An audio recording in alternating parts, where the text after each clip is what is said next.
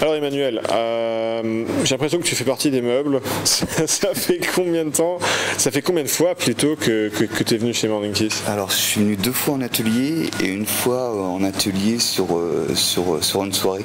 Ouais, l'atelier lancement. Donc tu as, commencé avec l'atelier lancement en 3 heures et après tu as, fait un week-end et maintenant c'est ton deuxième week-end. Et tu es venu parce que c'est l'atelier des anciens. Et donc tu voulais être plus poussé plus loin que d'habitude. Ouais. Euh, me spécialiser sur, euh, sur les rencontres en fait euh, dans la rue parce que je trouvais que j'avais quelques, quelques gènes qui me gênaient encore et je voulais, je voulais accentuer tout ça et je ne regrette pas d'être venu du tout. Comment tu te sens là maintenant Très bien, soulagé. Qu'est-ce que tu as accompli de plus dingue ce week-end? Ah, C'était euh, bah, une fille que j'ai arrêtée dans le jardin, dans le jardin des Tuileries, qui était ultra pressée. Et en fait, c'est justement ce qui m'a amusé. plus elle était pressée, plus elle répondait à mes questions. Comme quoi, on est pressé sur ce qu'on a envie d'être pressé. Et on a dialogué pendant, pendant facilement au moins près de 10 minutes. Et donc, c'est ce que, ce que j'ai aimé le plus. Et en fait, c'est vers la fin où j'étais plus crédible parce que je rigolais, parce que je me rappelais du fait qu'elle me disait qu'elle était pressée. Donc c'est là où je l'ai laissé partir. Mais euh, l'interaction était très intéressante et, euh, et de ne pas s'arrêter en fait sur euh, les premières choses que nous disent les gens et de creuser un petit peu, tout en respectant bien sûr, de creuser un petit peu pour savoir s'ils sont réellement pressés ou s'ils sont réellement les gens de dire ce qu'ils ont et d'assumer ce qu'ils disent. C'est loin d'ici. Non Non, il est juste, juste à côté. Vous êtes de Paris même? À côté d'ici Canaise. Canaise? Ah oui, d'accord et vous avez de la famille ici, vous êtes venu en week-end Je suis euh, agrégative en philosophie, je fais mes études. Félicitations. Encore euh, combien d'années d'études La troisième c'est là. Et après, vous voulez faire quoi prof. Prof de philo bah, Oui, tu as fait preuve d'une belle persistance, d'une belle persévérance. euh, il y avait de la conviction dans ta démarche. Parce que oui, bah, bien sûr qu'elle est pressée. On est tous pressés à Paris. Je veux dire, ça ne veut rien dire. On est tous en train d'aller d'un point A à un point B et on n'a pas envie qu'un emmerdeur nous prenne la jambe pendant 10 minutes. Sauf que eh, tu t'es révélé ne pas être un emmerdeur, mais tu as apporté de la valeur. Euh, l'interaction s'est bien passée. Et donc là, tout de suite, elle est moins, elle est moins pressée. C'est ça. Et qu'est-ce que, quelle était, tu dirais, ta principale prise de conscience ce week-end?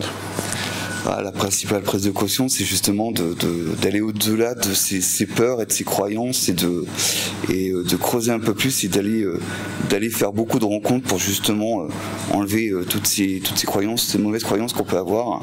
Et on s'aperçoit que à force de les travailler, elles disparaissent et, après on n'en a plus. Donc forcément les interactions deviennent plus rapides, deviennent de bonnes interactions et deviennent des interactions, je dirais, intelligentes et, et sincères. D'accord, ok. Et vous êtes en week-end euh, sur Paris C'est ça. Ok. Et vous avez de la famille ici Non, non, j'ai euh, des conférences d'informatique. Ok, euh, vous l'avez accompagné. C'est ça, et moi je vais profiter pour sortir un peu. Bah, vous avez raison, surtout avec le beau temps, ça aurait été dommage de se priver. la preuve, j'ai pu avoir un numéro de téléphone de deux Suissesses qui, donc, qui étaient ici en week-end et l'interaction s'est bien passée parce qu'on n'est plus dans le même état d'esprit de peur et de crainte qu'on pouvait avoir au début et forcément c'est magnifiquement bien passé. Qu'est-ce que tu pourrais me citer comme, euh, pour rebondir sur ce que tu viens de dire, comme blocage ou comme fausse croyance? C'est du style de ne pas les, déranger parce qu'elles marchent trop vite, de peur de ne pas, de pas pouvoir la rattraper, de paraître ridicule, d'être de, essoufflé au moment où on arrive et de ne plus pouvoir parler, euh, et aussi de ne pas savoir quoi dire au moment où on leur dit bonjour ou au moment où on les arrête. Et, mais de, là, après, faut, faut pratiquer. Et en plus, on fait des sessions pour pouvoir pratiquer. Une fois qu'on pratique, après, tout ça, ça s'enlève. Et on s'aperçoit à la fin, on se dit, ouais, j'ai fait tout ça. Et euh, d'être surpris d'avoir de, fait ce qu'on a fait parce que euh, on ne réfléchit plus et on est dans l'action. Et ça, c'est le très intéressant. Ouais, c'est-à-dire que là où avant, tu aurais pu rester bloqué par une excuse, ouais, une raison de ne pas y aller, et, tu serais resté bloqué, bah aujourd'hui, tu vas vérifier ce qui peut se passer, tu vas vérifier si l'objection euh, ou l'excuse peut être bonne, et, ça, ça t'ouvre un monde de possibilités. Que même si on a, même si on a des refus, et euh, donc euh, dès qu'on peut avoir un refus, on serait tenté de ne pas y retourner, alors que là, on est plus sensible d'y retourner pour se dire, bah, c'est parce que je m'y suis mal pris, on va voir si je m'y prends de la même manière avec une autre personne, comment ça va se passer. C'est là où c'est intéressant et c'est là où on a envie d'être d'y retourner. Je dirais que ça devient presque une drogue maintenant de, de, retourner. Je comprends. Et, en parlant de, l'aspect drogue, euh, je, ressens un autre aspect qui est assez, euh, euh, qui me rend assez accro, je dois dire, quand je fais des caméras cachées et que j'aborde des femmes. Paradoxalement, un élément qui me plaît beaucoup, c'est quand j'ai un refus, quand j'ai un râteau, un revers, parce que j'ai à chaque fois un plaisir intense de constater qu'aujourd'hui, mais ça ne m'affecte plus. Mm. En, en, fait, je me sens bien parce que je suis allé voir ce qui pouvait se passer. Je repars sans regret je repars euh, émotionnellement inaffecté. Et là, ce qui fait que c'est une drogue pour moi aujourd'hui, c'est que je reviens d'assez loin. Il y a 15 ans, ça, ça, m'aurait euh, démoralisé pendant des jours entiers. Et, le fait aujourd'hui d'avoir dépassé tout ça, parce que je sais comment, je sais ce que ça veut dire qu'une femme ne veuille pas interagir avec nous, ça veut rien dire par rapport à moi. Ne ça n'enlève pas ma valeur en tant qu'être humain. Et, donc ouais, il y, y a, pas mal d'aspects qui sont un peu une drogue. Il y a aussi l'aspect de, on sait jamais quelle surprise on va avoir. Et là où ça devient une drogue, c'est surtout, euh, euh, enfin là où, moi ça m'intéresse, c'est sur le fait d'arrêter les gens pour voir leur réaction avant de leur dire bonjour. Elle est juste là parce qu'on voit les personnes qui, là où les personnes qui sont surprises ou qui est surprise, et euh, ce petit moment là où, où on l'arrête, et ça, ça, me fait kiffer juste avant de commencer à leur dire bonjour, déjà rien que là. Le bah, fait qu'elle s'arrête, c'est une reconnaissance de, de, de, de la valeur qu'on va lui porter en fait. Mm, absolument. Et il y a un autre aspect qui me rend un peu accro, c'est de ne jamais savoir exactement ce qu'on va avoir comme réaction. Ça me fait penser un peu aux machines à sous à Las Vegas, où à chaque fois on, se sent euh, amené à encore tirer sur le manche parce qu'on ne sait pas si on va tomber sur la, combinaison gagnante ou la combinaison perdante. On ne sait jamais quand la combinaison gagnante va arriver.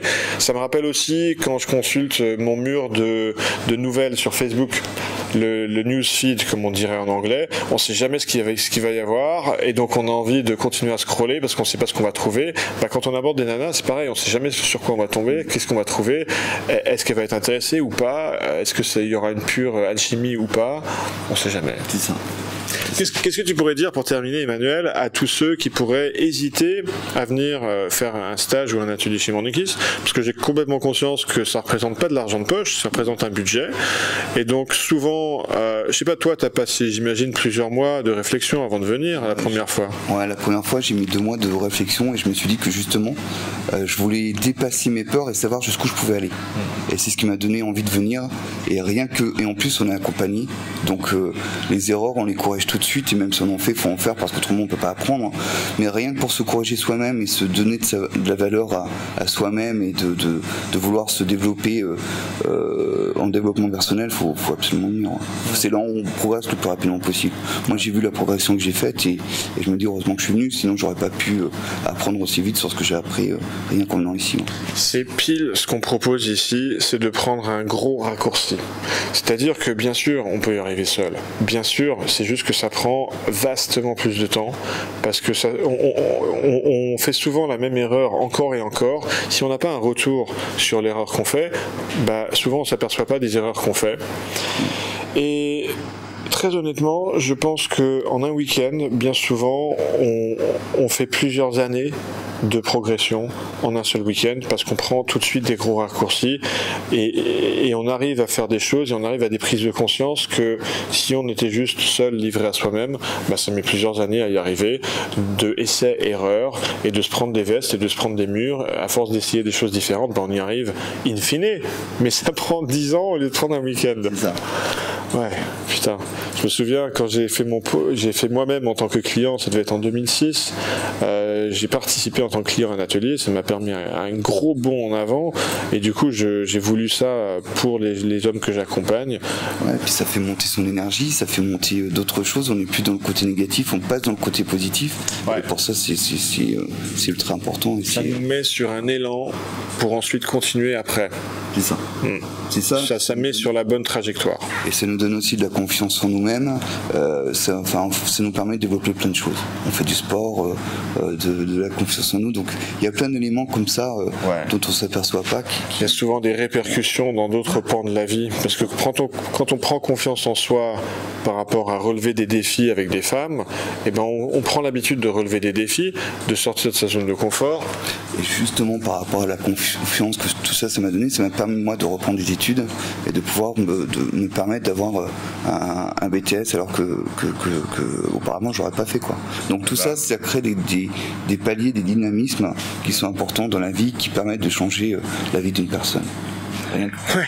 C'est genre, t'es es venu pour aborder des femmes et prendre leur numéro, tu repars avec un BTS. mais ouais, mais c'est pas rare. J'ai déjà eu des témoignages dans ce sens, des gens, des gens qui ont décroché un boulot parce qu'ils avaient pris confiance en eux dans les entretiens d'embauche.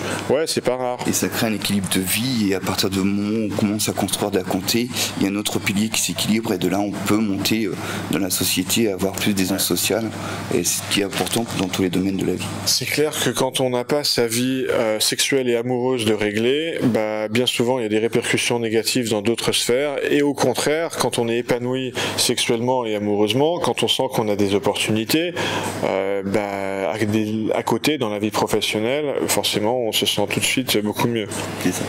Bah, merci beaucoup Emmanuel pour ton témoignage et merci pour la confiance que, que tu nous as témoigné. Merci à vous. Au revoir. Au revoir.